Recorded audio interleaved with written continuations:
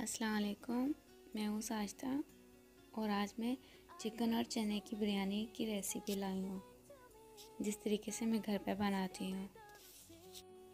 सबसे पहले प्याज ऐड करें, उसे दो तीन मिनट फ्राई करें। फ्राई करने के बाद उसमें चिकन ऐड कर दें। आप पर डिपेंड करता है, आप उसके पीसेस छोटे करें या बड़े करें। तो मैंने बहुत चिकन कम ऐड किया है।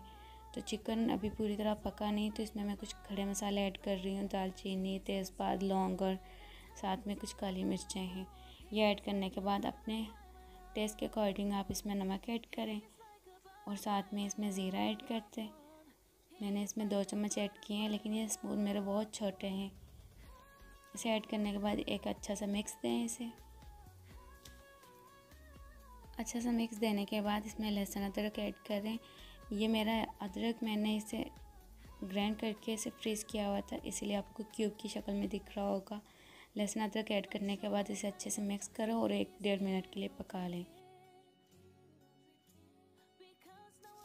एक से डेढ़ मिनट हो चुका है। अब इसमें हम हरी मिर्चें ऐड करेंगे जो मैंने इस तरीके से कट की हुई और मैं इसमें कुछ कुटी हुई मिर्चें ऐड कर रही हूँ लाल, क्योंकि मेरी ग्रीन वाली जो मिर्चें हैं वो इतनी तीखी नहीं है। ना ही ग्रीन वाली तीखी है और ना ही रेड वाली। तो इसमें बिरयानी मसाला भी जाएगा तो इसलिए आप लोग अपने टेस्ट के अकॉर्डिंग इसमें नमक मिर्च ऐड करना।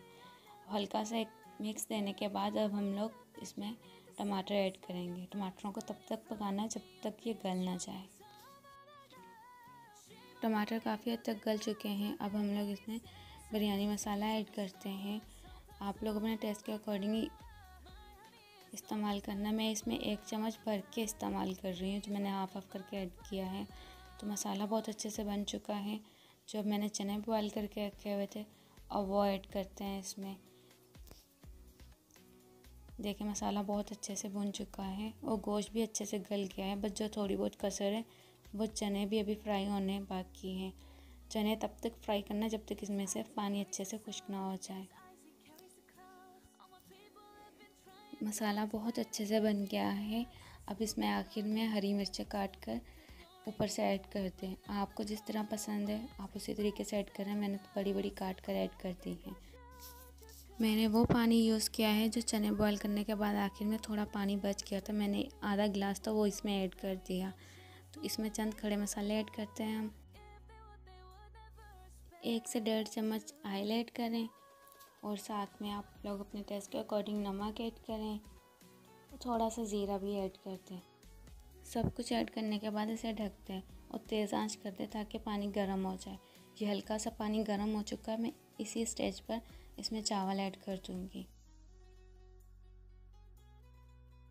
सब कुछ ऐड करने के बाद इसे चम्मच की मदद से अच्छे से हिला दें।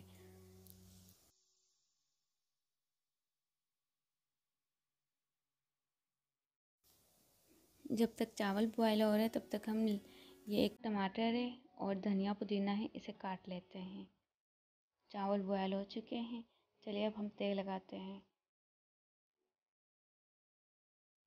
सबसे पहले मैंने पतीले में चावल ऐड किए हैं और इसके बाद मैंने ऊपर से ये जो मैंने मसाला बनाया है, ये ऐड करें।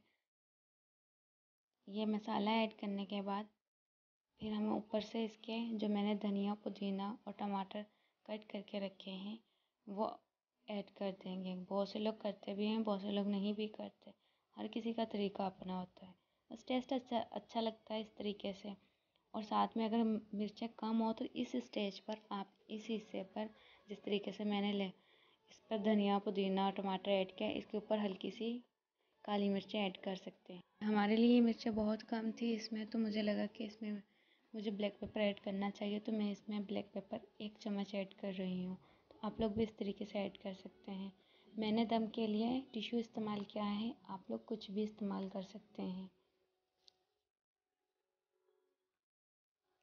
देखिए, बिरयानी मेरी बन गई है। तकरीबन मैंने 20 से 25 मिनट बाद इसे खोला है। पाँच मिनट पहले ही मैंने गैस बंद कर दिया था। ये पाँच मिनट तक कैसे ही रखे हुए थे। बिरयानी बहुत अच्छे से बन गई है। चले डिश आउट करके दिखाते हैं।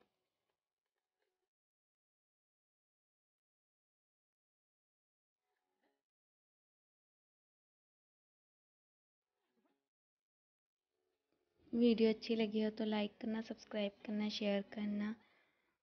और इंशाल्लाह फिर मिलूँगी एक नई वीडियो के साथ। तब तक के लिए खुदा हाफिज़।